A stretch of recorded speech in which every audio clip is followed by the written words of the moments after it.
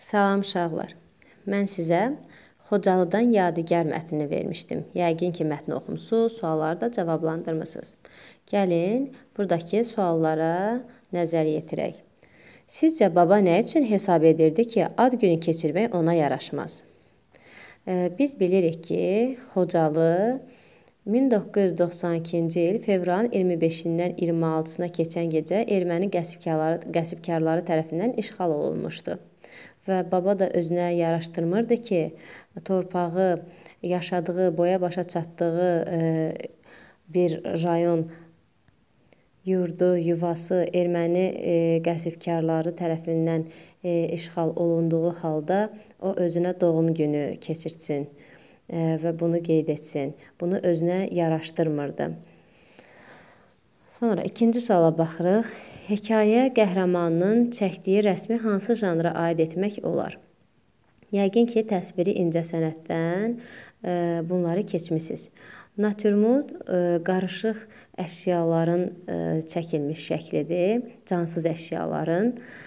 Portret bir şəxsin rəssam tərəfindən çəkilmiş şəxsidir, şəklidir bir şəxsin rəssam tərəfindən çəkilmiş şəklidir. Peyzaj isə təbiət təsvirini əks etdirən şəkildir. Rəsm əsəridir. Cavabımız B variantı. Deməli, 2-ci, 3-cü sualda siz öz babanızı ad gündə necə təəccübləndirərdiniz? Hər halda ə, hər biriniz ayrılıqda bunu yazmısınız. Mətnin birinci abzasını üçüncü şəxsin dilindən danışın. Burada mətn birinci şəxsin dilindən verilib, yəni nəvənin. Gəlin nəvəyə bir ad verək. Məsələn, Vaqif adı. Burada artıq danışan Vaqif olmayacaq, üçüncü bir şəxs olacaq. Burada yazır ki, ailəmiz babamın ad gününə hazırlaşırdı. Üçüncü şəxs bunu belə ifadə edəcək. Vaqifin ailəsi babasının ad gününə hazırlaşırdı. Onlar bu günü səbirsizliklə gözlərdi. Vaqif babasını çox sevir. O təkcə onun babası deyil, həm də yaxın dostudur. Bax, bu cürə üçüncü şəxsin dilindən danışacaqsınız. 5-ci tapşırıqda söz ehtiyatıdır. İzahlı lüğətin köməyi ilə sürpriz və yubiley sözlərinin mənasını yəqin ki, araşdırmısınız, izah etmisiniz. Keçək yeni dərsimizə dil qaydaları 6-cı tapşırıq. Mətndə altından xətt çəkilmiş mürəkkəb isimlərdən hansı müxtəlif mənalı sözlərin birləşməsindən yaranmışdır? Həmin isimlər e, el-obadan, dost tanışlarından və soyqırımdan olan sözləridir. El-obadan biz bilirik ki, bu cür sözlər yaxın mənalı sözlərdir. El-oba hər ikisi eyni mənanı ifadə edir. Dost, tanış. Hər ikisi eyni mənanı ifadə edir. Yaxın mənalı sözlərdir. Və defislə yazılır yaxın mənalı sözlər, mürəkkəb sözlər. Burada soyqırım sözünə baxırıq. Soy ayrı bir sözdür, qırımı ayrı bir sözdür. Bunlar isə müxtəlif mənalı sözlərin birləşməsindən yaranaraq mürəkkəb söz yaratmışdı. Bizim bugünkü dərsimiz mürəkkəb isimlər və onların yazılış qaydasıdır. Mürəkkəb isimlər müxtəlif üsullarla yaranır.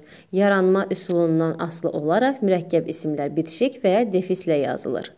İstiot, adət, ənənə, mer, meyvə, vur, havur. Biz qaydadan da gördüyümüz kimi mürəkkəb isimlər defislə və bitişik yazıldığını gördük. Ayrı yazılan mürəkkəb isim yoxdur. Yaxşı uşaqlar, mürəkkəb isimlər heç zaman ayrı yazılmaz. Siz 7, 8, 9-cu və 10-cu tapşırığı özünüz yeriniz, yerinə yetirəcəksiniz. Mən sadəcə bəzilərinin izahını vermək istəyirəm.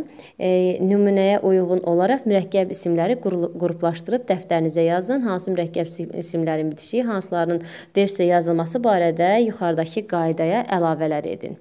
Yəni burada müxtəlif mənalı sözlərdən var. Yaxın mənalı, əks mənalı, müstəqil mənaslı və aha bitişdiricisi ilə olanlar var. Siz o sözləri seçəcəksiniz. Məsələn, söz söhbət hansına hansı varianta uyğun gedər? Hansı cərgəyə uyğun gedər? Təbii ki, yaxın mənalı sözlərin birləşməsindən yaranan mürəkkəb isimdir. Söz də, söhbət də yaxın mənalıdır. Digərlərini də özünüz yerinizə, yerinə yetirəcəksiniz. Uyğunluğu müəyyən edin. Həyət, həyət, baca. Düzdür? Dost, tanış. Digərlərini də o qayda ilə yerinə yetirərsiniz. Səhv yazılmış isimləri seçib dəftərinizdə düzgün yazın. Malqara necə yazılır? Malqara təbii ki, defislə yazılır. Düzdür? Digərlərini də özünüz baxarsınız. Qoyun quzu da düz yazılıbdı. Mürəkkəb isimlərin yazılışındakı səhvi müəyyən edib düzgün yazın. Birinciyə baxaq. Uşaq ayağa qalxıb üst başını qaydaya saldı. Burada üst baş mürəkkəb isimdir və az öncə mən dedim ki, mürəkkəb isimlər heç zaman ayrı yazılmaz. Burada isə ayrı yazılıb, səhv yazılıb. Üst başını defislə yazılmalıdır. Yaxşı? Və bu qayda ilə bütün e, tapşırıqları burdakı 7, 8, 9, 10-cu tapşırıqları yerinə yetirərsiniz.